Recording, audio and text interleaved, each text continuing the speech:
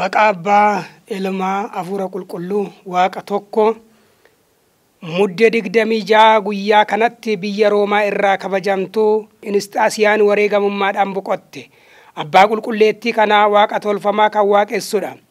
Harmeen ishee garuu kiristiyaana. Qulqulleettii kanas yeroo deesse abbaa ishee otoo hin beekiin dhoksaadhaan cuuphaa kiristaanummaa ishee cuubsiste.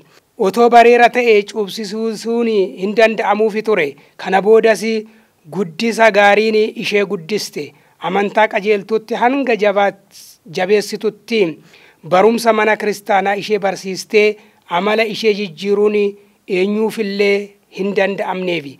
Guddattee heerumaa fi yeroo geesses abbaan ishee nama gantuu akka isatti ishee heerumsiise.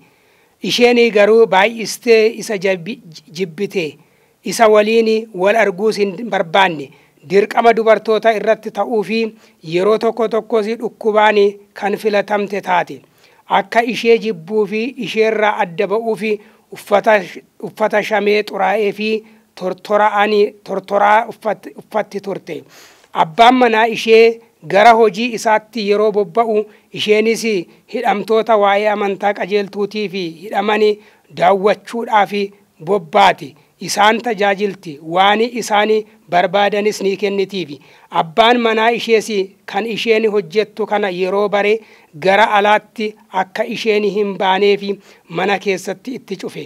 Harka ishee harka isaa keessaa akka ishee baasuufi boo'icha dhaadhaan gara waaqayyootti akka kadhattu taate.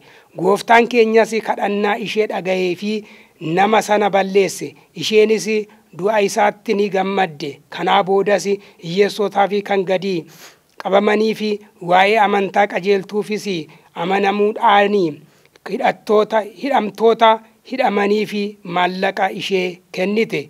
Biyya Roomaa kan bitus oduu ishee yeroo dhaga'e ergamtoota ergee gara isaatti fichisiise. Waa'ee amantaa ishees ishee gaafate.